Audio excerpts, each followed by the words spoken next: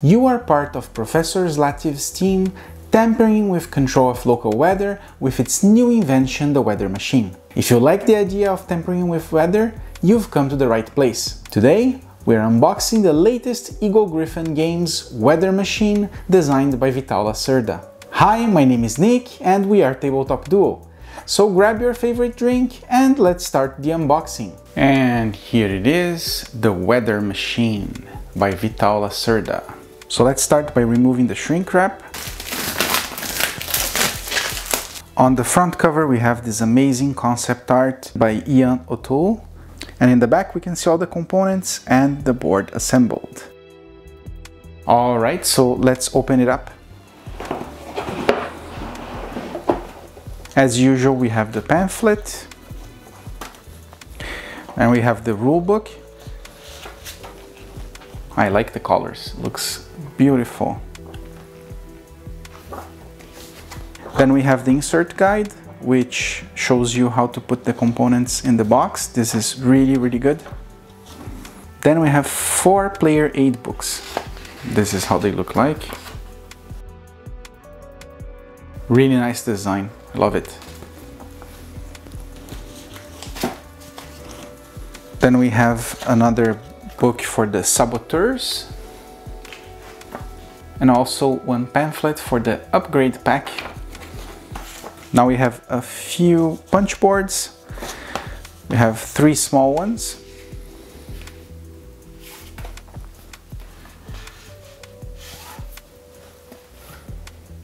Then we have the player boards. There, the design is amazing. I'll try to give a zoom here so you can see and seems really complicated, complex. A lot of places to put tokens and so on. You see you have a double layer here so you can put the, the token and it's not gonna slip outside. Nicely done. For the boards we have the um, pink, orange, kind of dark, gray, and then yellow. Some styrofoam and more punch boards which contains all the tokens. We have a total of three punch boards. Are some really cool ones for the different weathers. Again, all of the design of them are amazing, like the concept arts and everything looks great. Look at that. An assortment of tokens, some mini design boards, snow, wind, sun, solar, and then for water. We'll see more when we play the game, what this means. And then we get to the player's board, which is huge. I'm gonna open on the table so you can see with details. Again, the design of it is amazing. It's really well done. Lots of different places uh, to put tokens and so on. So again, it's Vital Lacerda. It's awesome.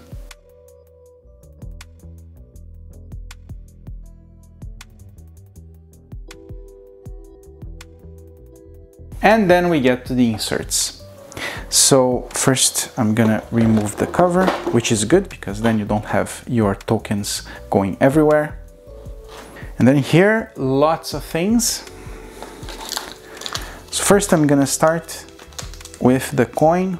So I guess this is the current player's coin and it's made of metal. And it's also signed by Vital Lacerda and Ian O'Toole.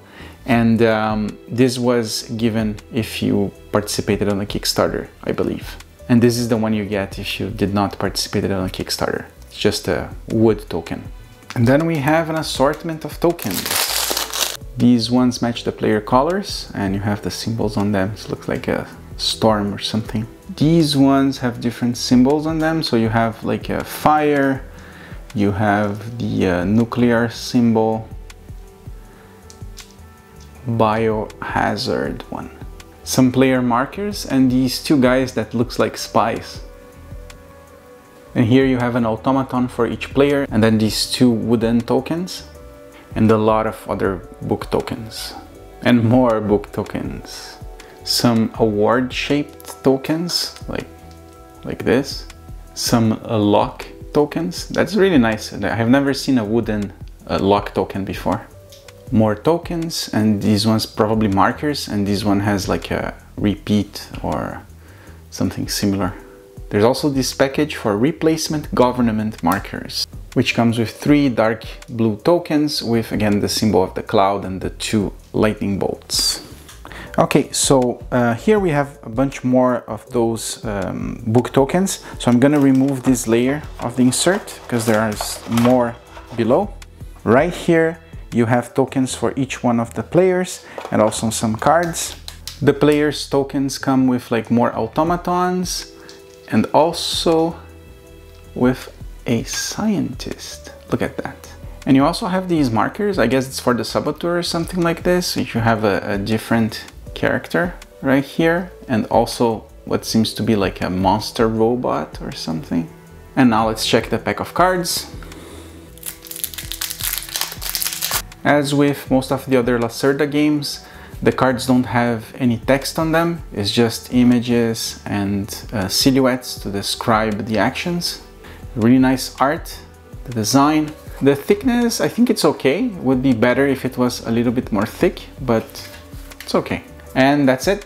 As you can see, this game has beautiful artwork, design, amazing components and insert as it's customary to all Vital Lacerda games. I can't wait to try it out and give you folks our review. You can also check some other board games we showcased on our channel over here. So thanks for watching and see you next time. Bye!